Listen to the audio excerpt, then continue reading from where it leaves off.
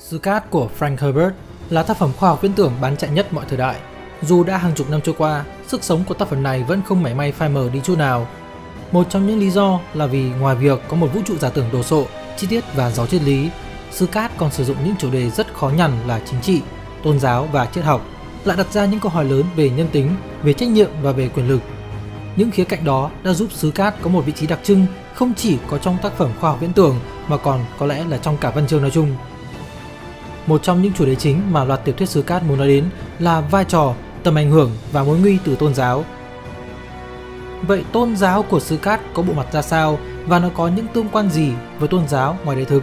Hãy cùng tìm hiểu điều đó thông qua bài viết Phân tích Sứ Cát, nhân loại phải chăng nên từ bỏ tôn giáo sau đây. Đây là một bản lược dịch từ tác giả Hải Stark từ bài luận Messiah, Jihad and God Emperors Should Humanity Just Give Up Religion của tác giả Greg lippman rút từ trong cuốn khảo luận Dune and Philosophy, Minds, Monarchs and Muad'Dib, nhà xuất bản Willie Blackwell năm 2022. Ok, đây là bài viết rất dài, thế nên hãy cùng bắt đầu thôi.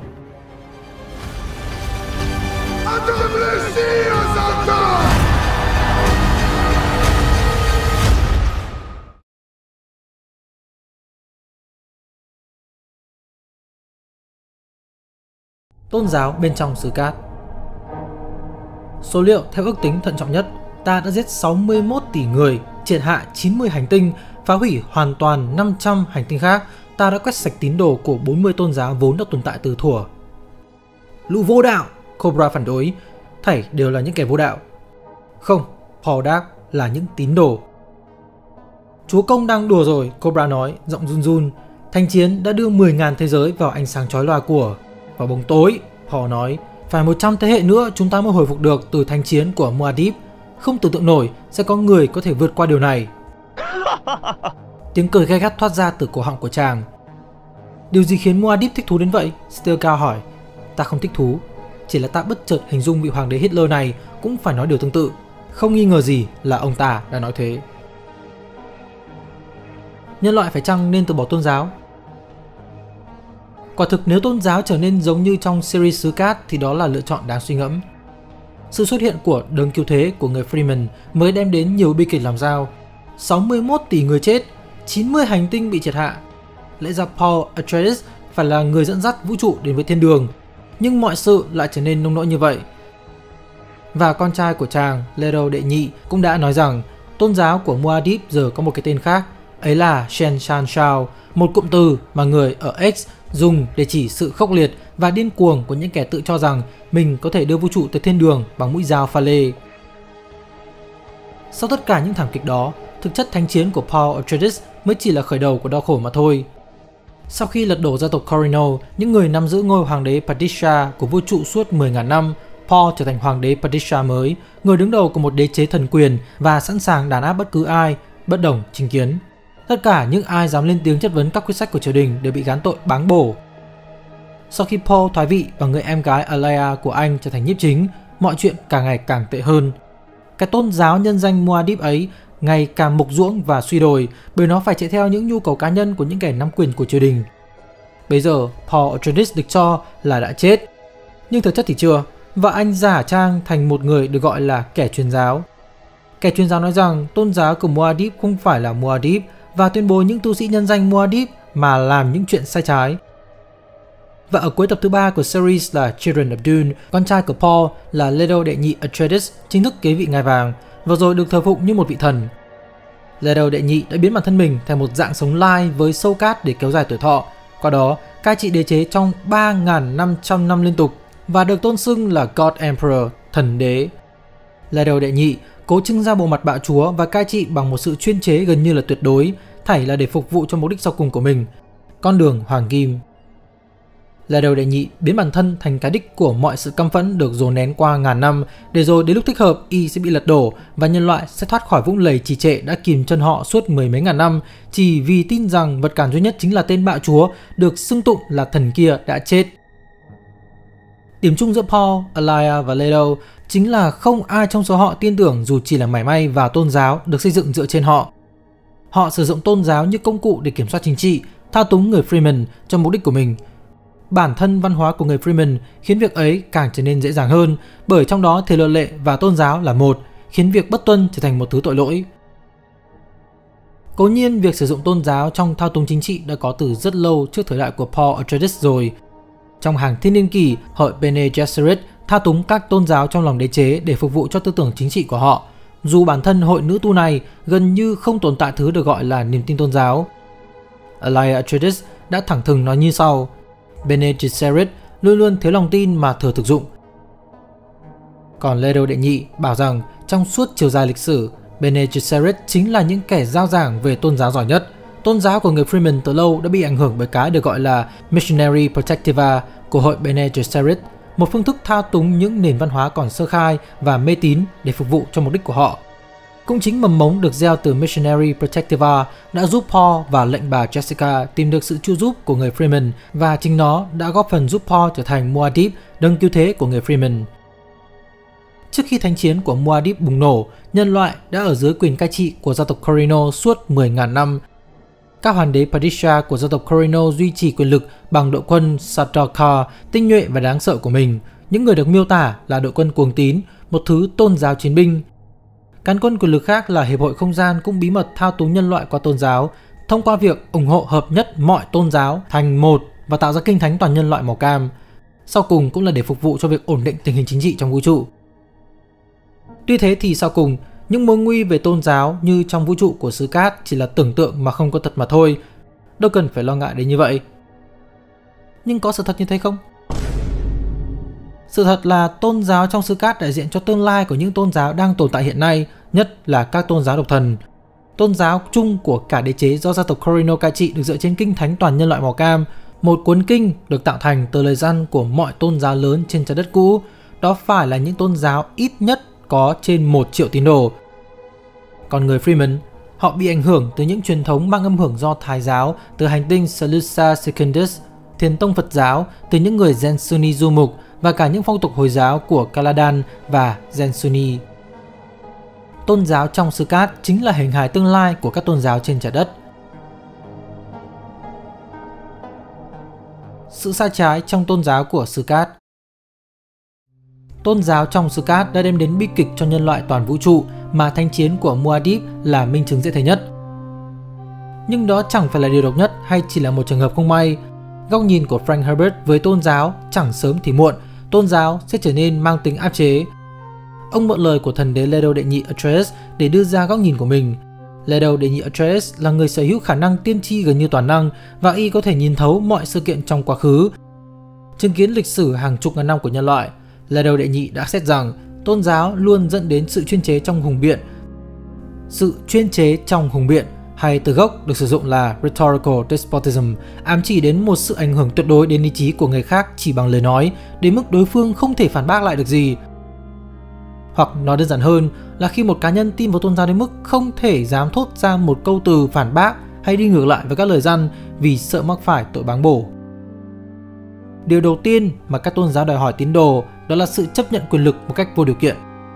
Tôn chỉ của hội Bene Gesserit thậm chí còn nói rằng tôn giáo giống như hình ảnh của người lớn đối với trẻ nhỏ và lời gian bất thành văn tối hậu luôn phải là ngươi không được phép chất vấn.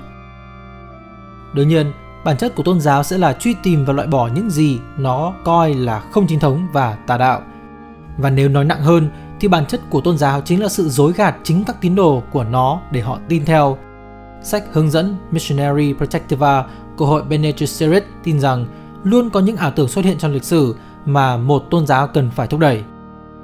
Tôn giáo cũng khuyến khích các tín đồ của nó phải tin rằng bản thân đã biết đủ những gì cơ bản quan trọng nhất.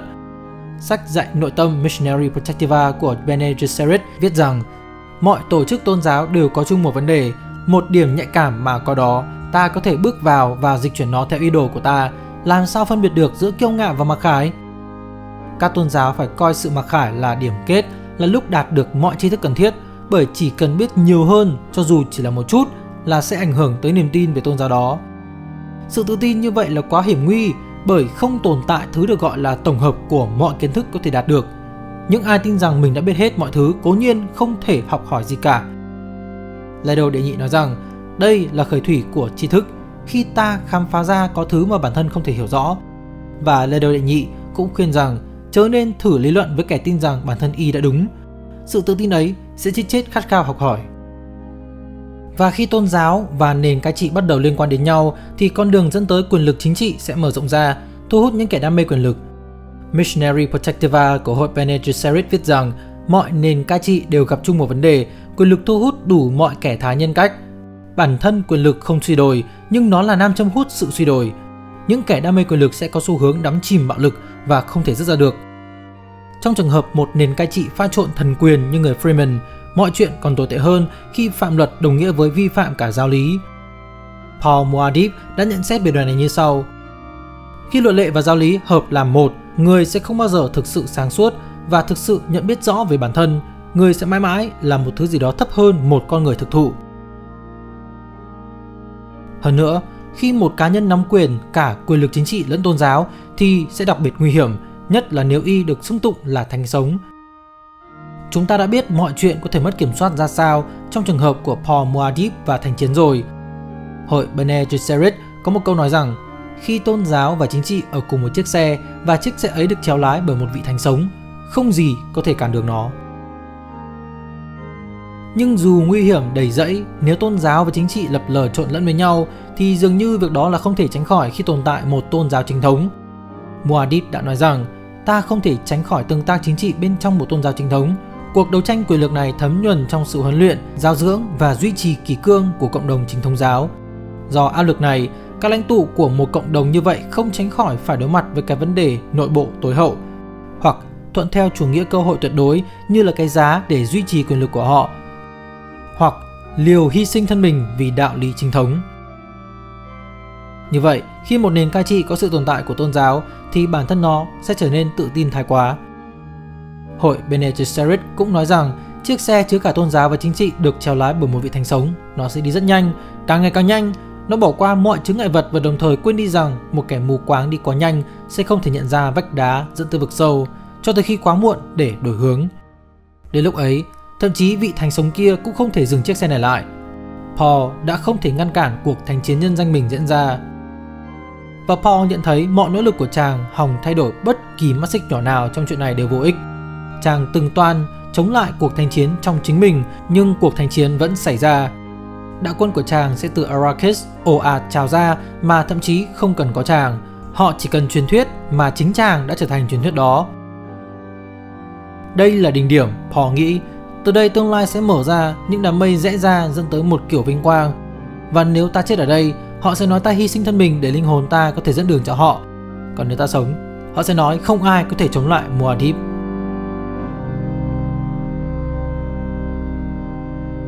Tôn giáo trong thế giới thực Vũ trụ của xứ Cát đưa ra những kiến giải và góc nhìn thật ảm đạm và tâm tối về bản chất của tôn giáo. Tôn giáo quả thực đáng sợ và tệ như vậy ư? Hay đó chỉ là góc nhìn của riêng Frank Herbert mà thôi? Thực chất có nhiều điểm tương đồng giữa những góc khuất của tôn giáo trong Sứ Cát với tôn giáo ngoài đời thực. Những nhân vật của tôn giáo trong đời thực thường yêu cầu một sự thừa nhận vô điều kiện. Nếu ai đó đi ngược lại với các giáo lý chính thống thì sẽ bị xem là bội giáo hoặc nặng hơn là dị giáo. Trong lịch sử, việc sử dụng tôn giáo làm nền để đạt được quyền lực chính trị không phải là chuyện gì xa lạ. Không thiếu những quân chủ tuyên bố mình có gốc gác thần thánh để qua đó nắm lấy quyền lực tối cao và có cớ để dẹp bỏ bất cứ thế lực nào dám thách thức. Thông thường nhất chính là vị quân chủ đó tuyên bố mình có được thiên mệnh hoặc được thần linh giao trọng trách. Những ví dụ trải dài xuyên suốt lịch sử, các vương công của châu Âu, các caliph và sultan của Trung Đông cùng với các hoàng đế Trung Hoa. Cá biệt hơn, một số còn tự xưng mình là thần, tức là đồng nhất bản thân và quyền cai trị của họ với thần thánh. Ví dụ chính là các pharaoh của Ai Cập cổ đại, các thiên hoàng của Nhật Bản và một số hoàng đế La Mã tôn giáo cũng hay được sử dụng để làm cớ phát động và tuyên bố tính chính danh cho chiến tranh. Ở thời Trung Cổ, những người cơ đốc sẽ tuyên bố giành lấy đất thánh nhân danh Chúa, trong khi người Hồi giáo cũng tuyên bố tương tự để bảo vệ đất đai của mình. Thậm chí trong nội bộ tôn giáo cũng có thể xảy ra xung đột và chiến tranh giữa các dòng với nhau, ví dụ như công giáo và tin lành của cơ đốc giáo hoặc dòng Sunni và Shiite của Hồi giáo. Xa hơn nữa, tôn giáo cũng được sử dụng làm cái cớ để dựng nên các đế chế, trong sư cát, Frank Herbert sử dụng từ jihad để chỉ cuộc thanh chiến nhân danh Paul Muad'Dib của người Freeman. Jihad là một từ gốc Ả Rập và cuộc thanh chiến của Muad'Dib rõ ràng dựa trên sự bành trướng của các thế lực Hồi giáo vào thế kỷ thứ 7 và thứ 8. bắt đầu với Muhammad, tiếp tục cho đến khi thế giới Hồi giáo trải dài từ Lưỡng Hà cho tới tận bán đảo Iberia. Cũng tương tự như vậy, nhu cầu muốn mở rộng tầm ảnh hưởng của cơ đốc giáo cũng là một trong những động cơ để thúc đẩy các thế lực ở châu Âu tranh giành và thiết lập nhiều hệ thống thuộc địa ở châu Mỹ, châu Phi và châu Á. Tôn giáo thường có xu hướng khiến người ta tin rằng bản thân mình không cần biết nhiều hơn những gì ta cần biết, vậy nên dường như mang tính ức chế sự tìm tòi học hỏi. Trong lịch sử, đã từng có những lý thuyết khoa học chịu đựng sự công kích từ tôn giáo bởi vì chúng đi ngược lại với những niềm tin của tôn giáo ấy. Ví dụ như thuyết nhật tâm hay thuyết tiến hóa chẳng hạn. Và thậm chí trong những giai đoạn tồi tệ của nhân loại, tôn giáo còn được sử dụng làm cái cớ để biện minh cho những sự đàn áp và đối xử bất công.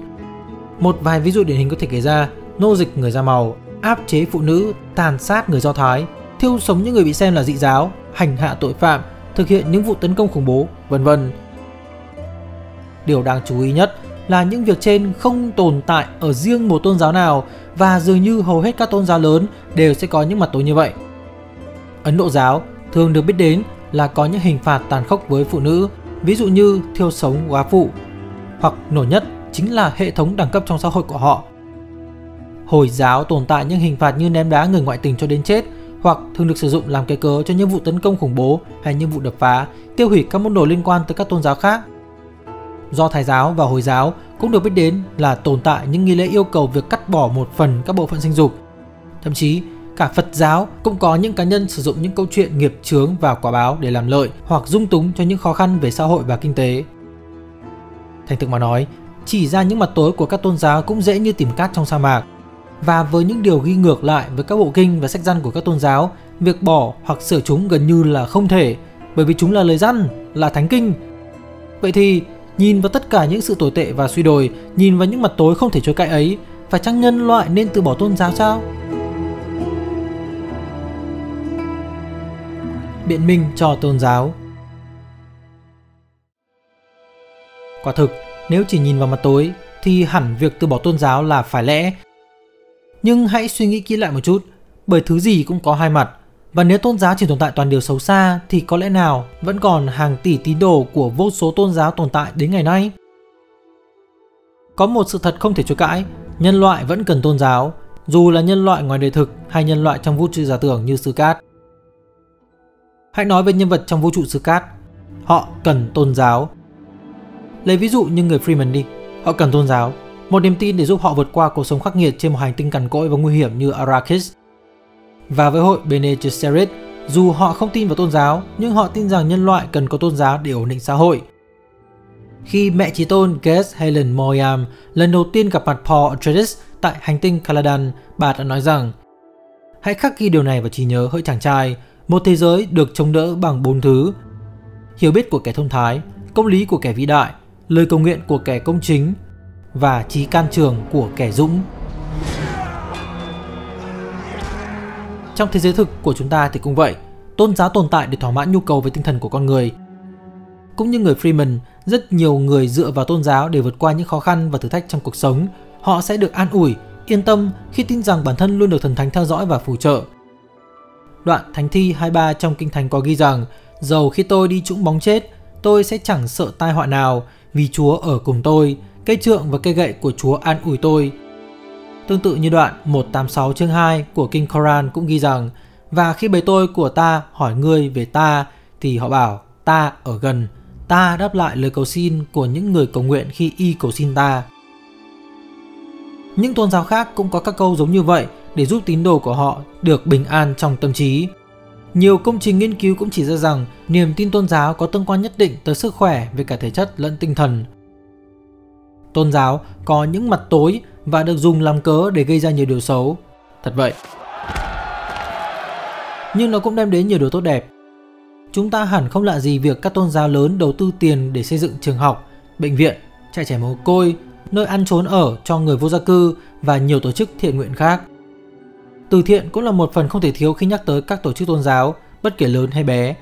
Và đối lập với những sự suy đổi trong các tôn giáo sẽ là những người tìm cách để loại bỏ những điều ấy Việc tôn giáo trong sư cát hiện lên với bộ mặt tồi tệ như vậy có lẽ là do mục đích của Frank Herbert vốn từ đầu là muốn làm nổi bật và tập trung xoáy sâu vào những mặt trái hệ lụy của tôn giáo và chính trị mà thôi. Chúng ta cũng có thể đưa ra luận điểm rằng tất cả những tội ác và điều xấu xa được thực hiện nhân danh tôn giáo hoàn toàn vẫn có thể xảy ra nếu không có mặt của tôn giáo.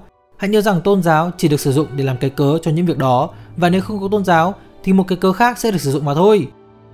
Các cuộc chiến tranh nổ ra, các đế chế được dựng nên có thể sử dụng tôn giáo để lấy tính chính danh. Nhưng tôn giáo không phải là mục đích để thực sự phát động cuộc chiến tranh hay dựng nên một đế chế. Dù là một tín đồ tôn giáo hay không thì con người vẫn là con người và con người có thể căm hận, bạo lực, tàn độc đến mức không tưởng. Ví dụ điển hình là nhiều sĩ quan cấp cao của Đức Quốc xã thực chất là người vô thần, không tin theo bất cứ tôn giáo nào. Đương nhiên, luận điểm phản bác có thể đưa ra là những việc tốt đẹp cũng có thể được thực hiện mà không cần nhân danh tôn giáo vậy. Một tín đồ hay một người vô thần thì rốt giáo vẫn là con người và bên cạnh những điều xấu xa tệ lậu, con người cũng có thể yêu thương, hòa hảo và đầy lòng tốt. Có thể dù nhân danh tôn giáo hay không thì những ai đứng lên chống lại chế độ nô lệ hay quyền công dân vẫn sẽ đấu tranh mạnh mẽ. Có thể những trường học hay trại trẻ mồ côi vẫn sẽ được dựng nên dù thông qua các tổ chức tôn giáo hay các tổ chức thiện nguyện khác nhau. Rõ ràng việc đem những mặt tích cực và tiêu cực của niềm tin tôn giáo lên bàn cân để so sánh là một việc không hề dễ, nếu chẳng muốn nói là bất khả thi. Thêm vào đó, từ đầu cho tới giờ chúng ta vẫn chưa bàn đến một vấn đề cực kỳ quan trọng trong việc xác định rằng ảnh hưởng của tôn giáo nói chung là nghiêng về phía tốt hay phía xấu. Đó là một vấn đề mà các nhân vật chính trong vũ trụ của xứ cát dường như chẳng hề đả động đến mỗi khi bàn về lợi, hại của tôn giáo. Đó chính là những niềm tin vào tôn giáo có thật hay không?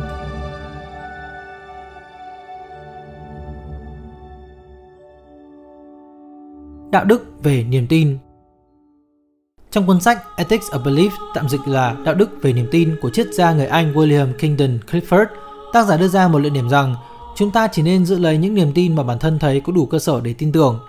Nếu giữ những niềm tin cơ hồ vô căn cứ sẽ khiến chúng ta có xu hướng tin vào những thứ sai trái và từ đó dẫn tới những hành động sai trái. Giả định như coi luận điểm của Clifford là đúng, vậy thì việc chúng ta nên giữ niềm tin tôn giáo hay không sẽ được quyết định bằng việc chúng ta có đủ cơ sở để tin vào chúng hay không. Để chứng thực cho luận điểm của mình, Clifford kể một ví dụ về một người về việc người này sở hữu một con tàu và ông ta nhất quyết tin rằng nó đủ an toàn để ra khơi, dù không dựa trên căn cứ nào cả. Và với niềm tin này, ông lái tàu ra khơi rồi khiến tất cả những người trên tàu gặp nguy. Một ví dụ tương tự có thể lấy từ trong sự cát ấy là giả sử ta là một hành khách trên đại thương thuyền của Hiệp hội Không gian. Hãy tiếp tục giả sử rằng ta hoàn toàn tin tưởng vào máy móc, động cơ của đại thương thuyền cùng khả năng điều hướng của người lái tàu để giải thích rõ hơn thì trong vũ trụ của Cát, mọi máy móc và trí thông minh nhân tạo đều đã bị cấm và biến mất hơn 10.000 năm.